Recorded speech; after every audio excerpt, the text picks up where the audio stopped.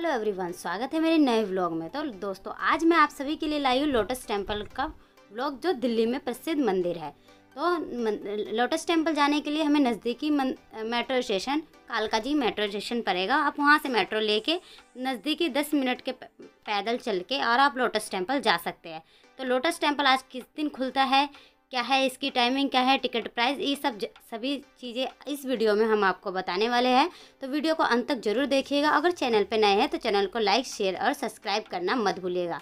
तो चलिए दोस्तों, बताते हैं। तो हम इसके लिए आप नज़दीकी मेट्रो स्टेशन कालका जी ले सकते हैं और वहाँ से पैदल आके आप यहाँ पे आ सकते हैं। तो इसकी कोई टिकट प्राइस नहीं है। आप यहाँ पे फ्री में आ सकते हैं। और साथ ही दोस्तों, ये मंडे को बंद रहता है। अब मंडे को मत आइएगा और बाकी सारे दिन आप आ सकते हैं यहाँ पे। तो देख सकते हैं, काफ़ी अच्छा है। यहाँ पे चेक इन वगैरह पहले की जाती है। खाने पीने की चीज़ें आप कोई भी अंदर नहीं लेके जा सकते। पहले ही आपको वहाँ पे रख, रखवा लिया जाएगा और सिर्फ़ एक पानी की बोतल लेके आप अंदर जा सकते हैं। तो काफ़ी सुंदर, काफ़ी प्यारा दृश्य है, काफ़ी सुंदर। और देख सकते हैं लोटस टेंपल दिख रहा है यहाँ से।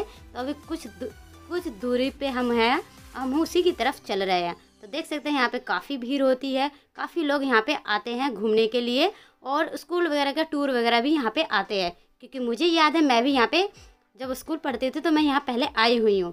तो आज मैं दूसरी बार गई हूँ तो मुझे बहुत ही अच्छा लग रहा था और काफ़ी सुंदर लग रहा था। तो दोस्तों, इसे कई नामों से जाना जाता है, जैसे लोटस टेंपल कमल मंदिर वगैरह के नाम से भी जाना जाता है। तो हम अब काफ़ी नज़दीक पहुँचने वाले हैं लोटस टेंपल के पास। तो देख सकते हैं कितना सुंदर है काफ़ी दूरी में फैला हुआ है ये। अब हम आ गए हैं अंदर की तरफ़ और यहाँ पे हमें थैले मिलते हैं, जिसमें हम अपनी चप्पलें, जूते, चप, सैंडल वगैरह रख के लेके जाएँगे और इसे हम अपने अपने साथ ही लेके जाएँगे हाथ में। नंगे पाँव अंदर जाना होता है तो हम लोग अपने जूते, चप्पल अपने थैले में लेके और अंदर की तरफ़ बढ़ते हैं। तो चलिए दोस्तों, और आगे की तरफ़ चलते हैं। तो ब्लॉग्स आपको कैसे लग रहे हैं कमेंट करके ज़रूर बताइएगा।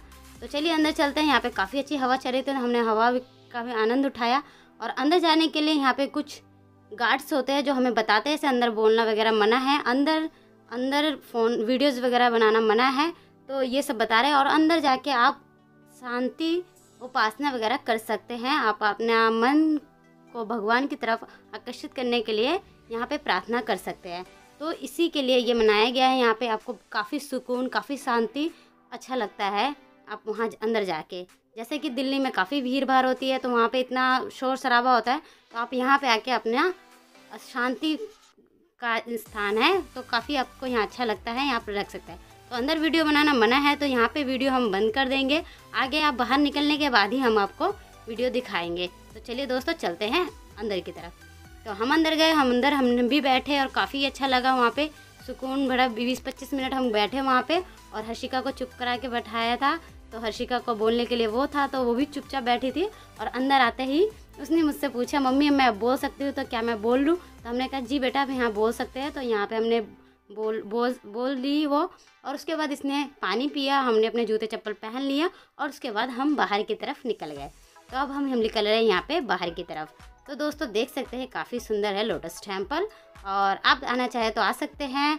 ऐसे ही मेरे प्यारे प्यारे ब्लॉग देखने के लिए मेरे चैनल को लाइक शेयर सब्सक्राइब कर, करना मत भूलिएगा। और मिलते हैं नेक्स्ट वीडियो में। जब तक सभी को बाय बाय दोस्तों।